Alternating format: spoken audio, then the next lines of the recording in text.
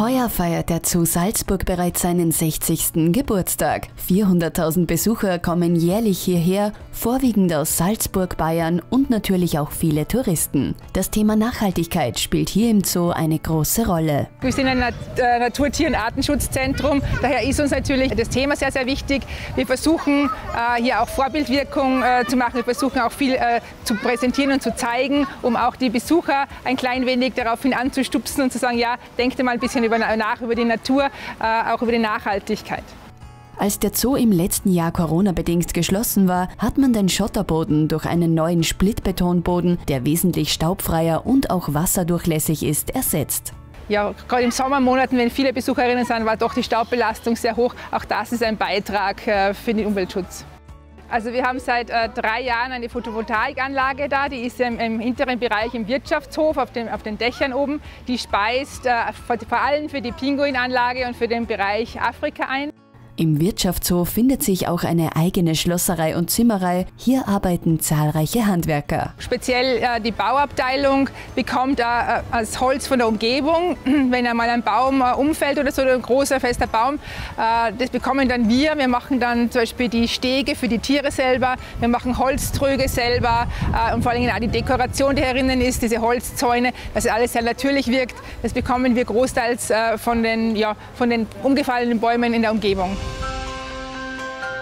Eine große Attraktion für viele Besucher ist das Pinguinbecken. Für den perfekten Badespaß der Tiere braucht es aber natürlich auch viel Wasser. Das Becken ist sehr groß und dadurch braucht man viel Wasser. Eben wie gesagt, wir müssen, äh, wir haben einen eigenen Brunnen jetzt, den wir zwar vorher schon in Verwendung gehabt haben, aber der nicht so verwendet worden ist, jetzt nicht so effizient war, weil die Pumpe noch relativ viel Strom braucht hat.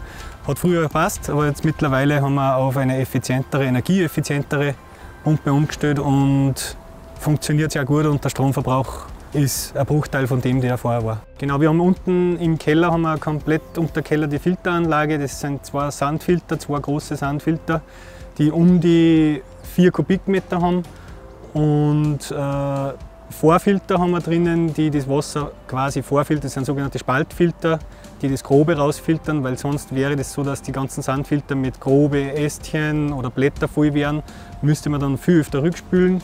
Es ist relativ ausgeklügelt, funktioniert sehr gut und es ist eine sehr stimmige Anlage. Also wir haben keine Probleme damit. Sie säubert, sie macht die Arbeit perfekt. Bei der Versorgung der Tiere wird ebenfalls sehr auf Nachhaltigkeit und Regionalität geachtet. Genau, das Obst, das wir bekommen, äh, ist natürlich qualitativ sehr hochwertig, weil es für die Tiere so sein muss.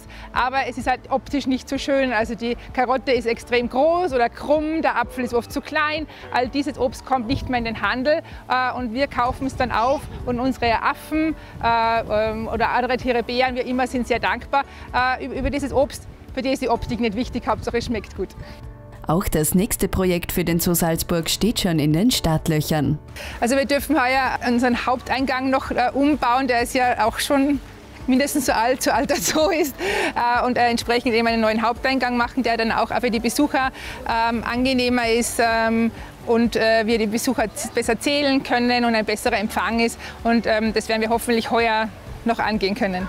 Ob selbstgemachte Kletterbäume, Stege, regionales Futter, ein wasserdurchlässiger Bodenbelag oder die große Photovoltaikanlage am Dach des Wirtschaftshofes. Der Zoo Salzburg ist mit all seinen Maßnahmen in Sachen Nachhaltigkeit ein echtes Worldchanger-Unternehmen. Wenn auch Sie mit einer Photovoltaikanlage Richtung Zukunft starten wollen, dann melden Sie sich einfach unter www.salzburg-ag.at/solardach.